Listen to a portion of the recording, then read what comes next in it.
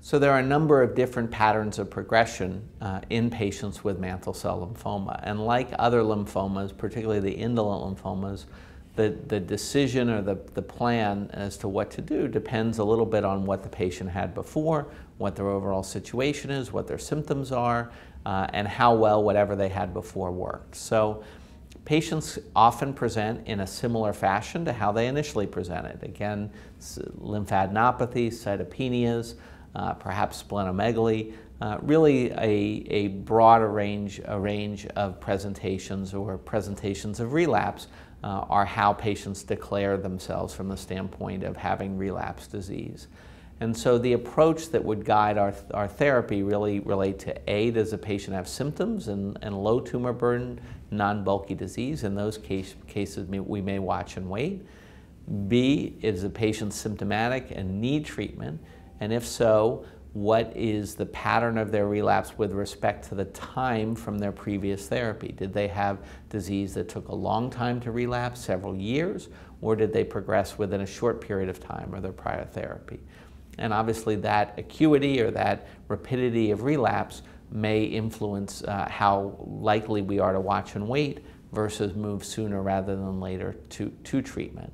Uh, and then finally, the, the overall condition of the patient. Are they elderly? Are they young? What did they have before? All of those might influence our decision into how to proceed.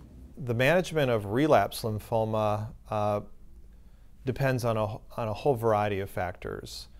Um, how old is the patient? How healthy is the patient?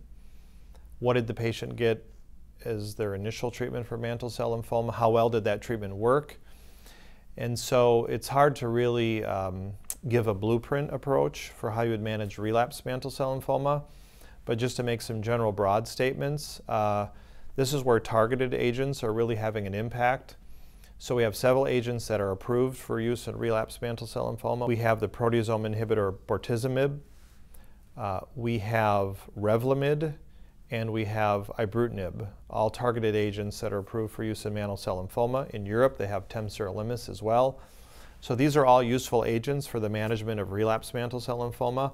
Of those, I think ibrutinib is the most active, has the highest response rate, has the best uh, safety and side effect profile. And so that's a very commonly utilized strategy for relapsed mantle cell lymphoma. Having said that, ibrutinib responses don't last forever. And so uh, you need to have other options for those patients. Other things that can be considered for relapse mantle cell are things like stem cell transplantation. Uh, allogeneic stem cell transplantation appears to have curative potential for relapse mantle cell lymphoma. The problem is the risk. There's about a 20 to 30% chance um, of dying from a transplant related complication in the first two years after that strategy. So it's a it's a high risk, high reward approach. Uh, for young patients, though, I think that should be offered as an option. You know, if you're 58 years old with relapsed mantle cell lymphoma, the odds of making it to age 65 or 70 are not very good. And so taking this high risk approach of the allo stem cell transplant may actually become your best option if you're a young patient with, with relapsed mantle cell lymphoma. In the relapse setting, the younger fit patient may be approached in a couple of different ways.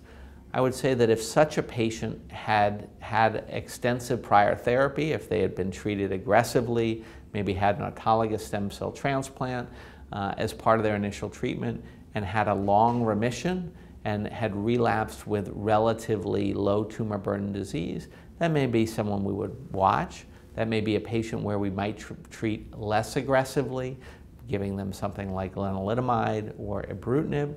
On the other hand, that may be a patient where we would uh, also consider something like allogeneic transplant at some point. And so those issues, much as in follicular lymphoma in the relapse setting, um, there are a range of options, and some of that really depends on the pace of the disease and the patient's clinical preferences. So more aggressive disease, I might be thinking more aggressive treatment, less aggressive disease, slow progression, I might be thinking less aggressive treatment, keep the disease quiet.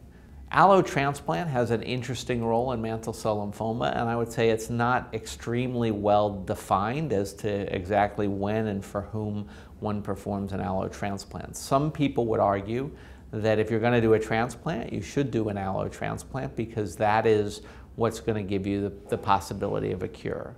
That being said, um, many patients who are, are candidates for allo transplant, meaning younger and fitter, generally speaking, are going to probably end up getting an auto transplant before they get an allo transplant.